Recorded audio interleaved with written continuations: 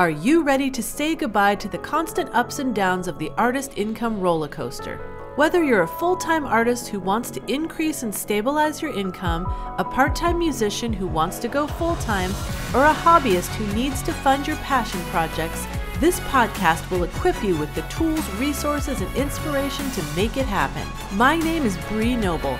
I'm a musician, best selling author, and educator whose mission is to help musicians like you to increase the income you're already making and tap into new income streams so you can create a more diverse, stable, reliable income from music and finally ditch the starving artist mentality. Now let's dive into the Profitable Musician Show. Hello, everyone. My name is Bree Noble. I am so excited to be here with you on the podcast and with our guest, Tammy Johnston from KSA Business. We're going to be talking all about musicians and business like we always do, but we're going to weave in a little bit interest something interesting today. We're going to talk about um, being ethical and moral in our business. And um, it's something that I strive to do, but sometimes things are a little gray area, you know. So it'll, it'll be really good to talk this out. Um, so let's just start out by finding more out about Tammy. Tammy, let us know a little bit about your background, um, you know, how you ended up uh, coaching business owners and working with musicians specifically. So I'm Tammy Johnston and my business is KSA Business. I'm actually known as the hold your hand and kick your ass business coach. Oh, I was going to mention that. I love that tagline. That's fabulous. That's actually what my my, um, my clients named me that because they said you love us and you support us, but you don't let us get away with nothing. I love it.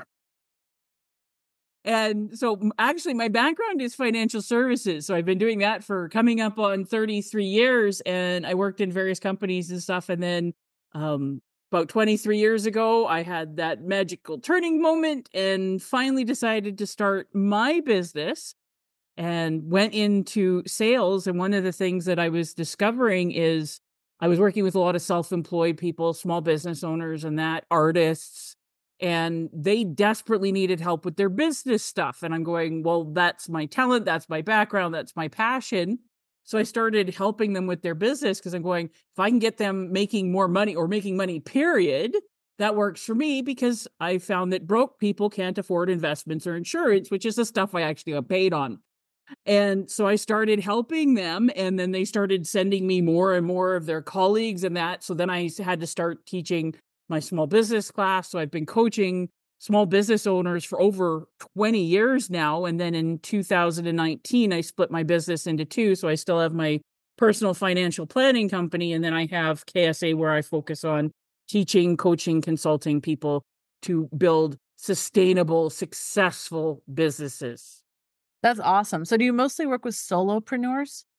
Most are, yeah, most of the ones that I work with are solopreneurs because my sweet spot, I like getting them as early in the process as possible. Like idea stage up to two years is where I can have the most positive impact. Hmm. So, yes, most start off as solopreneurs, but I've had quite a few go on to expand and do wonderful things, and we still work with them. But my sweet spot is, like you said, idea stage up to two years.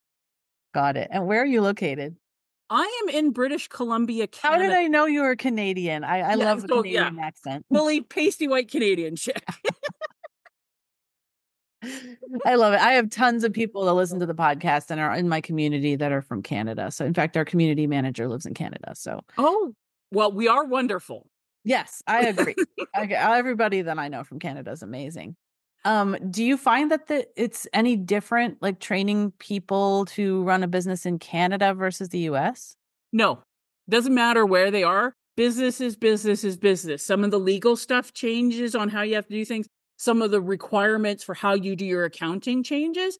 But business, it doesn't matter where you are. The foundational pieces are all exactly the same. And then it's just how exactly do you put it together for your particular business. But I've worked with tradespeople, medical people, tons of artists. I've worked with retail. I've worked with like the gamut. And one of the things that I love about that is yes, you see that business is business is business, but also the cross pollination of ideas. And I've had like my musician clients learn from like my massage therapist clients and my truck driver clients and everybody because there's definitely advantages to hanging out with people that are doing the same or very similar things to you. You get to learn very technical stuff and very, but you don't get the cross pollination of ideas when everybody's in this in the same silo.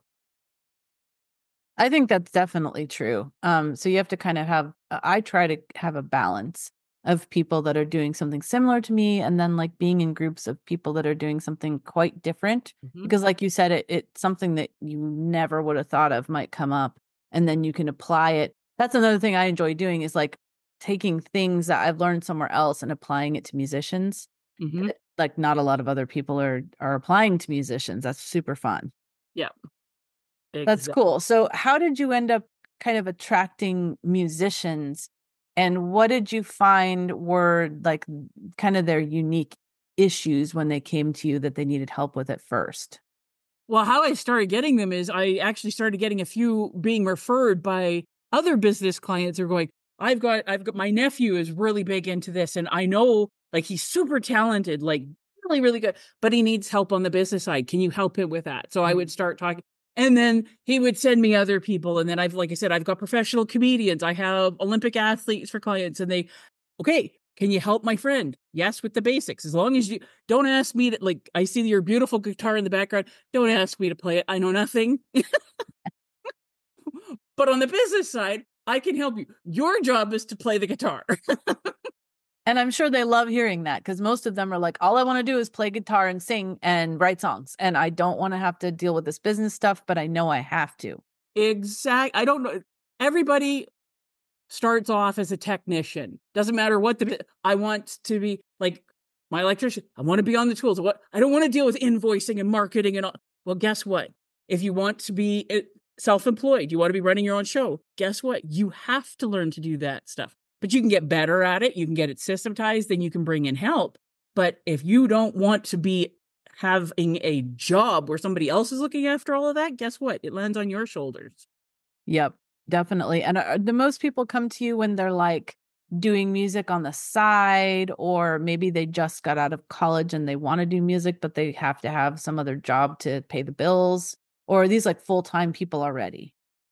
Most are actually when they're kind of transitioning and they're they they do have a day job because making it in the arts whether it be the comedian or the musician or or the painter or whatever they are it is hard to start off and get making money. And then they actually start hating their art because they're going, I have to work so hard to sell it. If I don't sell it and I have to do these commissions that I don't want to do and all of this stuff, that they actually start to not like their jobs. I'm going, I really like it when I can get them when they do have a day job. And it's like, okay, let's build something on the side. Because if you've got the day job that's making sure that the mortgage is paid or the rent's paid and food's on the table, then you can do your music or your art or whatever it is for fun and joy and then it's an awful lot easier to sell it and market it because you don't have that that desperation that panic behind you that everyone can smell from like a thousand kilometers away oh my gosh you're speaking my language. I say that exact same thing especially around bookings. It's like it's like no one is going to want to book you when they can tell that if they don't book you you're not going to be able to pay your rent. Mm-hmm. And or they'll book you and they'll take advantage of you because uh-huh. they, know, they know that you need it. Well you're going to give me more and i'm going to negotiate your fees down and especially when i've worked with a lot of the musicians they're they are getting paid but it's not even enough to cover their costs in a lot of the time so if that's what you're doing to be paying your bills that is like a lose-lose situation Yeah, yeah. No, I'm glad you said that because I've said that many times that, that it's just like when someone is is trying to get a job and you're interviewing them, you can tell, though, like even with their body language and stuff, like that they need that job, and it mm-hmm. makes them less desirable. It's it's just like when you're dating somebody and you know they, they like really want you, like you kind of want to say I don't want them because you want to play hard to get or whatever. But well, know, if somebody's coming human... on too strong, you're going. Yes okay, what what are your issues? what stuff is going on in the background that I am not going to want to find out about? But one of the like, so I told you my background is financial services. Let me explain that to you. I sell life insurance. If you want to clear a room, go into the room and say, I sell life insurance. And everybody is going to be running for the hills. Nobody wants to talk to you. So if you go in, I okay, I need to make this sale in order to like pay my bills. That makes you even more repulsive. So you have to find way, like I said, learn. Like I sell stuff that absolutely nobody wants, people need, but they don't want it. so That's learning how to do that because it's a very good thing. Yeah, it just doesn't sound exciting. It's like it's like me trying to, you know, get people excited about learning bookkeeping. You know, yeah. They kind of need to do it, but it's like, ugh, that's like fingernails down a chalkboard for a lot of artists. Oh yes, can I go clean the toilet? Um, can can can I like what can I do other than that? so when musicians come to you, like what do you find like what do you work with them on at first? Like what do they really need help with at first? Usually when I'm dealing with musician and other like artistic types and stuff like that is getting them to understand that if they do want to be making money at this, that it is a business. Because so many of them have this, I just need to get onto like American Idol, or mm. I'll have my magic moment where I'll get found. That's everybody's dream and all of it. Like, if I could just get this one thing and magically everything opens up. No. And even the ones that we see, we've heard it over and over and over again. Overnight successes take 10 to 20 years yep. because they're putting in the work, they're doing the stuff, they're playing to the the the tiny little crowds and and they're they're busting their butt not making the money but they're doing the work day in and day out and day in and day out before they hit their big magical moment there are ways that you can have it come faster there's ways you can have it come easier but if you think you just have to be the most talented musician you are not going to make it no like you have to look at it as a business and you have to be running it as a business yeah, I mean, I wish it were true that like everybody was mm. valued based upon their talent, and it, but it it just isn't true. Like you have to know how to promote yourself, you have to know how to manage money, you, you know, all the things that that go along with it. Mm-hmm. Do you find that they are like resistant to that idea? And have you had clients like just walk away like I, I can't, I'm not going to do this. I'm I'm convinced I'm just going to have my my viral moment on TikTok and uh, then I'm going to be all good. So I don't want to do this business stuff. There's all there's always there's always a few, but most are real like typically if they get to the point where they're talking to me at all, uh. they're starting to realize things. Like people typically uh, like I said especially on the artistic side don't come to me right off the bat. They have to go through some pain first. They have to collect some bruises and some scrapes and things like that and they're going, okay, maybe there are some things that I need to learn about this other than like how to just play my instrument or sing and things like that. So they're a lot more open to it. And then I find by asking them a few questions and, like I said, getting into the conversation and stuff, they start warming up to it because they think it has to be scary and that's boring and it's it's I'm going to have to sell my soul and stuff like that. But when they actually start learning about it, they're going, oh, no, okay, this does make sense. So most are pretty open to it because, like you said, the majority of people are coming to me after they've already collected a few bruises and scrapes and they're going, this hurts. Can I make it better?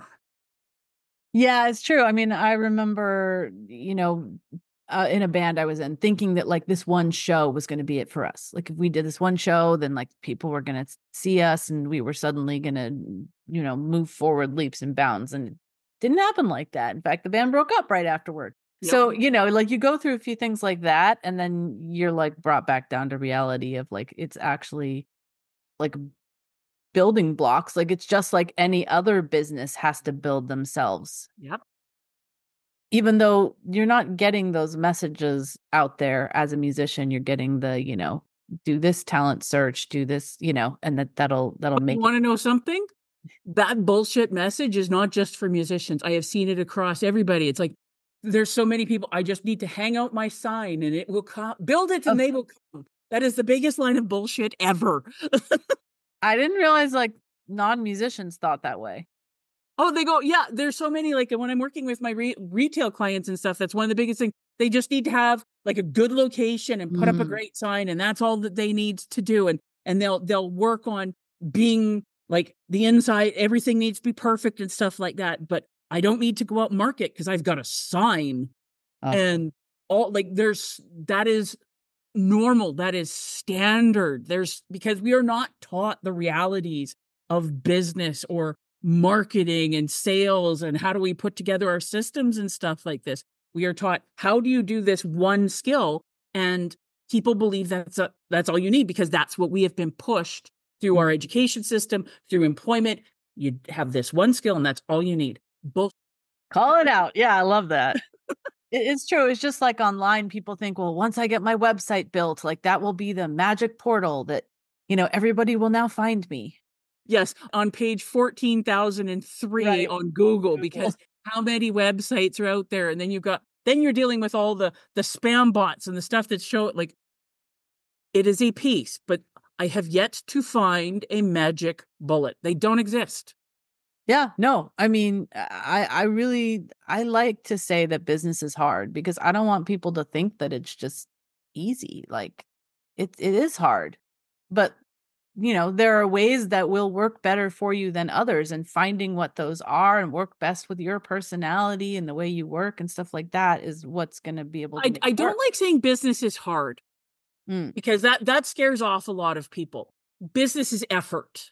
Business, okay, that's good. Distant effort. Because here's one of the like, yes, I do work hard. I work a lot of hours of, but here's the thing: I love what I do and I enjoy doing it. Not everything like there's paperwork and carp and like, oh crap, do I have to deal with this again? But that's just part mm-hmm. of it. But it is it is consistent and and I do what I want to do and I work with people that I want to do. Musicians get to play the music that they want to and how do they want to do it? But you have to be putting in that consistent effort over time.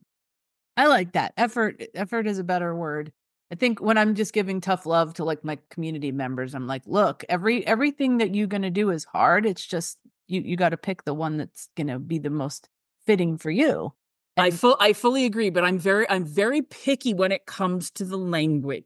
I like it. Is how how we frame things. So I like, for example, I was talking with my mom this morning, and she going, "Oh well, I went. She's part of uh, a health group and stuff." She says, "Well, I lost some weight." And going, "No, you didn't lose weight we when we say we lost something that's something we want back. No we released it. Mm. is it hard? No it's consistent effort. It, framing it makes it an awful lot easier for people to go okay yes this is something i can do. It is something that i'm not going to enjoy every moment but it is something that i can achieve and it is something that is worthwhile. Mm. i like that. Definitely like that i'm going to use that um, what about income streams? Like, do you encourage them to like go out and get a bunch of different income streams? Like, how do you felt help them decide like which things they should pursue? Because there really are a lot of income streams musicians can pursue.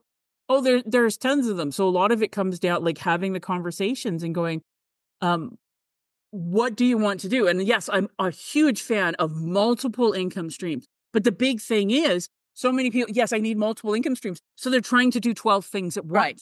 Yes I'm going, you pick one to start with mm-hmm. and you do it and you get good at it and you get it systematized and put together. Then you can add another one and then you can add another one. But if you're trying, if you're, if you're, if you're trying to operate like a shotgun, spray and pray, you're not going to succeed because you're running around and you're spinning plates and your, your energies are all over the place and you can't, we can only do so much at once. So pick one thing and let's get that set up. And then you can add more and let's figure out okay, what is something that based on your skills, based on your connections, based on where you are, what is the most likely thing for you to start with? Hmm. Yeah, no, I know. It, it, you just you do that whole like spray and play, pray, and the whole play, spinning plates, and you just end up burning out. And then you, like you said earlier, you just end up hating music. Yes, you go work in an office because you're just and you end up hating that too. Yeah, you hate that too, and then you hate everything. And yeah, I know it's not good, and then you don't want to. I always think about it in like I don't want to shut musicians down because they are creating like art, and if you if mm-hmm. they stop doing it, like there is art that will not be will not exist because of that. And and, and our world out. needs the art. Like thinking back to the pandemic when the entire world was shut down, what kept people sane and going forward? Being able to listen to their music, being able to watch their shows and read their books. That's all art. Mm-hmm. But if the artists, the musicians, didn't have it set up so that it could get out to the world, didn't have the the business sense, the business support, nobody would have ever heard about it. Yeah, and and you know, I always also say like, you know, you you need to know this so you can keep making music because for yourself and for your fans. Yeah. Right? Because if you can't finance what you're doing, eventually you're going to go broke, you're going to go in debt, you're going to, you know, or you're just going to stop because it is expensive to be a musician. Yeah, is it an expensive hobby or is it a potential or is it an income stream? Right. And that's for everybody. Yep. So I want to talk about you mentioned that you really uh, focus on kind of making sure that we are doing business in an ethical and moral way. How do you talk to your clients about that? Well, I always say my rules for business are honest, moral, and ethical because they're unfortunately, especially in our modern world, in the in the corporate sense, they lie, they cheat, they buy the laws that they want and it is a race to the bottom. It is making our society worse. It is making everything worse where the small business owners in order to stay in business our re- our reputation is everything. If you're mm-hmm. going to lie you're going to rip people off you're going to cheat you do anything that's going to get out and then nobody's going to want to deal with you because who wants to deal with ones like that? Like we hear we hear the stories talking about musicians and stuff like that. No, oh, okay, I went to a concert. I remember going to Gun, a Guns N' Roses concert like probably 30 years ago. And I was so excited about it. And they didn't come out onto the stage until almost two hours after they were supposed to start. And they could get away with that because they're the big stars and stuff. But I'm going, I lost an awful lot of respect for them in that moment. And if you're going, if you are a just starting out musician and you try to pull a stunt like that, it's not honest. It's not ethical. You've pissed off everybody. So, how is that helping anyone? When you treat people with respect, you live up to the agreements that you have made. If you only make agreements that are fair and honest and ethical, you might lose out on some short term money, some short term gigs. But it pays off in the future over and over and over again because you are building up that relationship that yes your music is good but yes they're also going to show up on time. They're not going to wreck the place. They're not going to be jerks. We're not going to have uh, drugs everywhere because that's what they're promoting and stuff. Like who would you choose if if you're a concert promoter or you want them to come in and play it play at your event and stuff. Well, I've got somebody, yeah, they're really talented, but are they going to show up? And what type of stuff are they going to do? And are they going to be miserable? And is the is the green room going to be destroyed afterwards? Or somebody yes they're very talented too but they're going to show up on time. They're going to be respectful. They're going to do what they say they're going to do. Who are you going to hire? Yeah. No absolutely. And in music you see a lot of situations where this happens internally too like with mm-hmm. between band members between uh, you know co-writers between uh, producer and uh, performer or even like between manager and artist. Have you experienced any of that? Yes. And this is i've also been called in like when they're having those problems and stuff and they're going okay how do i how do i deal with this? How do i get out of it? Well i always say the best thing is not to get into the mess in the first place not to get in the mess in the first place. Like just because somebody's offering you something doesn't mean you sign papers. And if you don't understand the legalese, find somebody who can and going, are you fully aware of what you're signing on for? And if you've already signed in and you've got a relationship, okay, what are your escape clauses? How do you how do you get out of it? If it is a bad fit, if somebody's lying to you, somebody's cheating, somebody's stealing from you, which happens a lot in the arts, because like, hey, who owns your copyright? This is why the business stuff is important. You don't have to know everything, but if you don't know the basics so that you know what questions to ask so that you can bring in the experts that can help you and cover your butt, how much could you possibly lose? Like, how long was Kesha not able to perform and do all of that stuff because of the bullshit with her contracts? Right. Why did Prince change his name? Bullshit with contracts.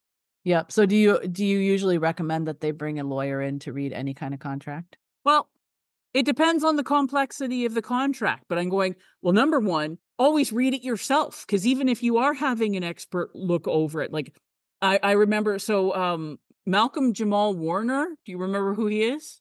Uh, yes. Oh, oh, oh, uh, Theo? Yeah, he played Theo on on the Cosby Show. And one of the best lessons, and I eh, for artists and all of this stuff, is he always said, like his mom, because he started at the show fairly young, and he was making good money because it was like the most popular show out in the 80s yep. for years. Must and he was TV. Yep, I remember. Making good money. And he says, I hate it at the moment, but I absolutely like it was one of those valuable things ever. His mom used to take him to the meetings with his like accountant and his legal team and all that stuff every quarter so that and make him ask questions and like figuratively smack him around a little bit to make sure that he was paying attention so that he understood that what was going on and that his money was being looked after properly because there's so many of these people that make they had that magic moment and they made lots of money but they didn't learn anything at all about it or the contracts and they ended up getting screwed. His mom made sure that he knew and understood and he says i'm set for life. I don't like if i don't want to do a job or anything like that i don't financially have to because i learned this stuff because my mother forced me. Mm. so learning to read that and then yes at least have somebody else take a look over it. Like when you're when you're looking at relatively small stuff like do you have to have a lawyer on speed dial? No but you do need to learn the stuff. And if you have questions or anything at all like that there are ways that you can be talking to lawyers for a lot less than you think. A lot of people avoid them because they're going, oh my God, I, I don't have the money. That's just so expensive. Well, you either pay a couple hundred bucks now or it could cost you hundreds of thousands later. Yep. Yeah, I know. I just watched that uh the documentary about the Backstreet Boys and NSYNC and all that stuff. And it's like they didn't even look at it. They just no, signed it. They were just so excited. Oh, this is my magic moment. Everything's not no. the people that wrote up those contracts, I guarantee they made sure that it was in their best interest, mm-hmm. not yours. Yikes. Yeah, I know. That stuff is crazy. So, is there anything, any other advice that you would want to give artists that's kind of come up with you working with all kinds of artists? Oh, there's so many, dear. How much time do I have? okay, if I had to pick one thing, like I'm going, it is like I said, is it uh an expensive hobby? Because if that's what you don't, all the power to you, all the power to you.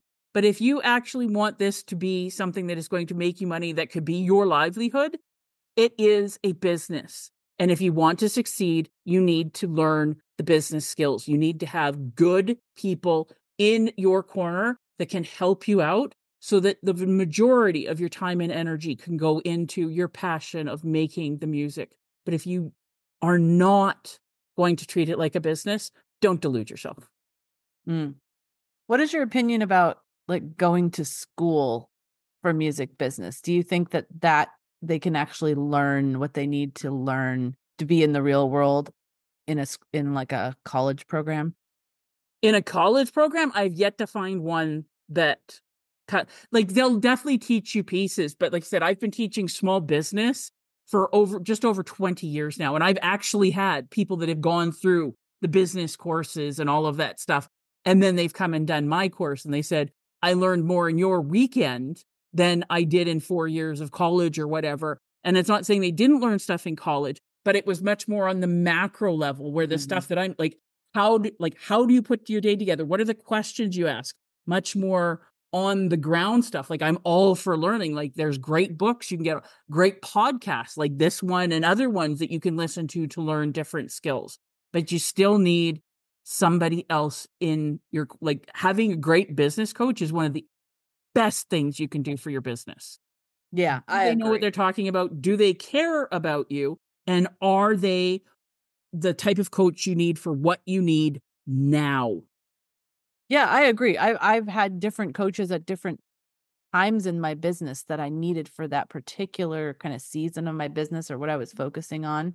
So that's a good point. Like finding the person that can help you with the thing that you're working on the most or or like if they're coming in and they're more at the beginning you know just getting those foundations that you're helping with yeah and i say like when when you're first starting out the mm-hmm. newer you are the more of a generalist you need like i work i know a lot of amazing business coaches but they're specialists i call them they're the ologists hmm. and when you need the ologist they're the best thing in the world but if you need a generalist you're going to go to this ologist and they're going to teach you great stuff, but it's not appropriate for you. You're not ready for it, or it's not what you need at this moment. And then you're going to go to another ologist that's going to be the same thing, great stuff, but not right for you. And you could spend all of your money on ologists and not get anything that you need because yeah. you needed this, you needed a generalist to start off with. I like that. No, yeah, and then you just end up feeling overwhelmed and be like, I I can't handle this. It's too much. It's too complicated. Well, yeah, and I've put so much money out and I haven't gotten the results and stuff.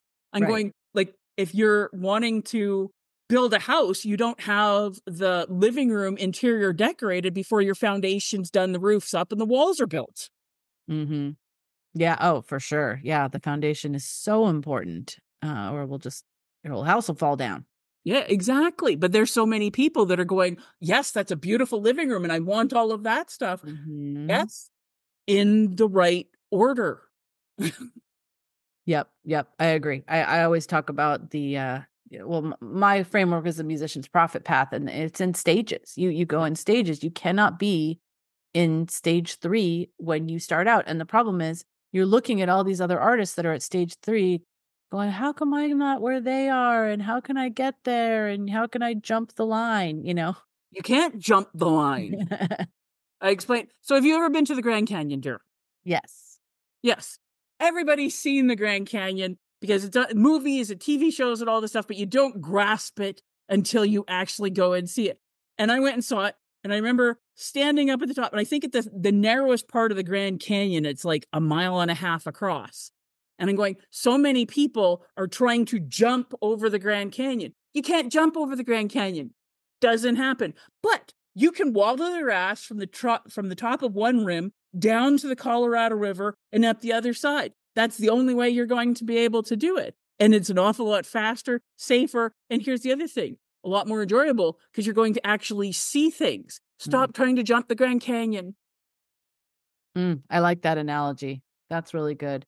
I wanted to touch on one more thing that I heard you say that is really uh, near and dear to me. And you said, you know, you kind of said, like, what does your day look like? Like, the the, the planning and time management aspect i think that's where musicians really struggle because they've always had someone telling them what to do when and mm-hmm. especially if they just go full time they're like oh i've got my whole day what am i going to do you know and should i practice should i book should i do you know so how do you work with musicians around that so number one i've worked with them to figure okay what it, what is your energy flow so for example i am not a morning person Don't talk to me in the morning. It is not going to happen. But I know where my energy f- flow is. And okay, what are the things that I need need to be doing? Do I need to be practicing? Yes, you do. Do you need to be doing that for eight hours every day? No, you don't, but you need to be putting in your time. Do I need to be working on my bookings? Yes, absolutely. How are we fitting that in? Do I need to be looking at my financials? Yes. How do you how do you fit it in and then schedule it? like one one of the biggest challenges that for all small business people self-employed solopreneurs when they start when you're in school when you're an employee you have external things telling you what to do when where all of this stuff when you're self-employed you have to do that which is is freeing and terrifying at the same time when you're starting off because it's like i can do whatever i want i can do whatever i want um, so what do you need to be doing how are you fitting it into your day? Another one, how do you deal with all the distractions? Because when you start off, people think, oh, you're self employed, you have control of your time. I can interrupt you for any reason. Can you run me errands? Can you pick me up and take me here? Can you do this? Can you do that? And next thing you know, you've lost six weeks and have accomplished nothing. Yep. Yep. It's really easy to do. Oh, so easy to do. And like I said, not just for musicians, for everybody. So it's like learning the hat like this is why i say foundation pieces and one of them is like i said learning your habits so that you can succeed so that you can be putting in that consistent effort so that you can have those cumulative returns Yep, I absolutely agree. That's something that I definitely talk to artists about. So, this has all been super helpful. I want to thank you for sharing today. And how can our listeners and the people that are watching find you online? So, two places you can find me on my website. So, ksabusiness.ca, because I'm a pasty white Canadian. And if you're asking, KSA stands for kick some ass. Love it. And you can find me on Instagram at ksa.business. Those are the two best places to find me. Awesome. Well, guys, go connect with Tammy. Thank you so much, Tammy, for all of the wisdom that you gave everybody today. Well, thank you for having me, Bree. Thanks for listening to the Profitable Musician Show. I would love to know your takeaways and aha moments from this episode. Leave me a comment over at profitablemusician.com so I can bring you more of the information, interviews, and resources that you love. Thanks to Randi Fay, one of my Academy members, for providing the music for our podcast. You can check her out at randifay.com. That's R A N D I F A Y.com. Just remember, knowledge is power, but without implementation, it is useless. And inspiration without action is merely entertainment. But I know you're not just a dreamer, you are a doer. And I promise I'll be here every week to support you and remind you that you can be a profitable musician.